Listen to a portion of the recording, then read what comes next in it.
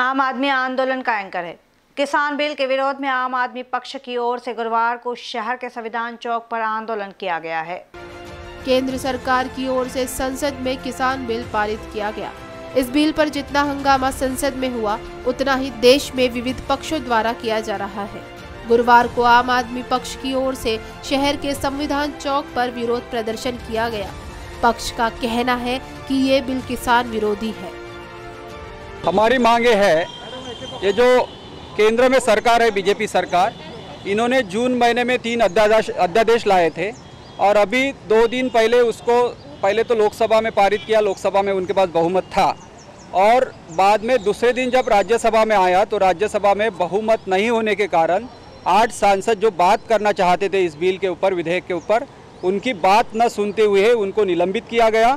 और असंवैधानिक तरीके से ये बिल को पारित किया गया। ये जो तीन विधेयक लाए हैं, इसमें किसान को पूरा गुमराह किया जा रहा है और किसान को पूरा कारपोरेट के हाथ में हवाले कर रहे हैं ये मोदी सरकार। पहले जो एमएसपी की बात होती थी, एमएसपी सरकार तय करती है और उसके मुताबिक एपीएमसी में कुछ हद तक माल खरीदा जाता था। उसके कारण किसानों को एक हमी रहती थी कि हमारा माल अच्छे भाव में, यानी जो भी एमएसपी है उस भाव में खरीदी जाएगी।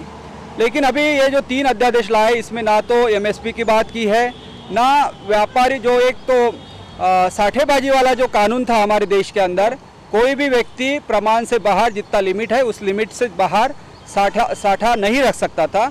उस कानून को भी अभी ये तीन अध्यादेश के कारण रद्द किया गया।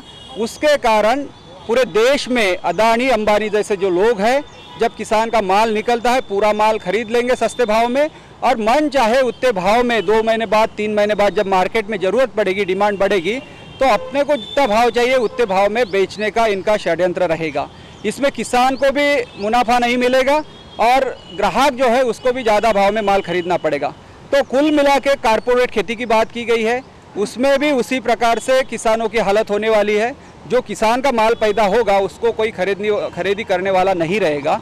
अभी एपीएमसी में माल जाने के बाद कम से कम एक कानून है हमारे देश में, जो मिनिमम सपोर्ट प्राइस है, उससे कम कोई व्यापारी नहीं खरीद सकता। ऐसा यदि व्यापारी ने किया तो उसको जेल में जा सकते हैं, ऐसा भी प्रावधान है। लेकिन अभी ये सारे कानून ख़त्म होकर, जो कारपोरेट के हवाले पूरा किसान को और, जो किसानी से रिलेटेड बाज़ार है, उसको किया जा रहा है। इसका आम आदमी पार्टी दिल्ली में राज्यसभा में भी विरोध किया है लोकसभा में भी विरोध किया है। और अभी आज पूरे देश में आम आदमी पार्टी की ओर से तालुका जिला सभी ले, लेवल पे ये जो तीन विधेयक है इनका हम आम आदमी पार्टी की तरफ़ से किसानों की तरफ़ से निषेध कर रहे हैं। और उसी का एक नागपुर में भी हमारे सभी कार्यकर्ता इधर आए हैं और हम सभी किसान विरोधी मोदी सरकार का निषेध करते हैं और जो बिल है तीनों बिलों का भी विरोध करते हैं।